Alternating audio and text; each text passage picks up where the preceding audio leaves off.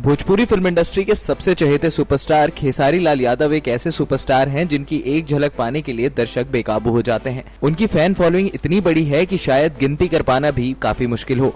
लेकिन जरा सोचिए, जिस सुपरस्टार की इतनी बड़ी फ़ैन फॉलोइंग है, क्या वो किसी के फ़ैन हो सकते हैं? तो ऐसी बात अपने आप में ही काफ़ी बड़ी हो जाती है। दरअसल हाल ही में खेसारी ने एक इंटरव्यू में कहा था कि वो एक बॉलीवुड हस्ती के काफ़ी बड़े फ़ैन हैं। और वो बॉलीवुड हस्ती कोई और नहीं, बल्कि सुपरस्टार गोविंदा के फ़ैन हैं, जिनकी सिर्फ़ कॉमेडी ही नहीं बल्कि उनके डांस और एक्शन का अंदाज भी काफ़ी शानदार है। ऐसे में खेसारी ने कहा कि वो गोविंदा को देखकर ही बड़े हुए हैं और उनकी एक्टिंग और एक्शन के अंदाज को भी वो फॉलो करते हैं। और तो और उन्होंने कहा कि वो गोविंदा की सभी फ़िल्मों को देख भी चुके हैं। उन्होंने ये भी कहा कि उन्हें पहले डांस नहीं आता था और उन्होंने गोविंदा को देख ही डांस भी सीखा है। नेक्स्ट नाइन न्यूज़ के लिए अभिलाष की रिपोर्ट। Subscribe now to receive new updates, reviews and news.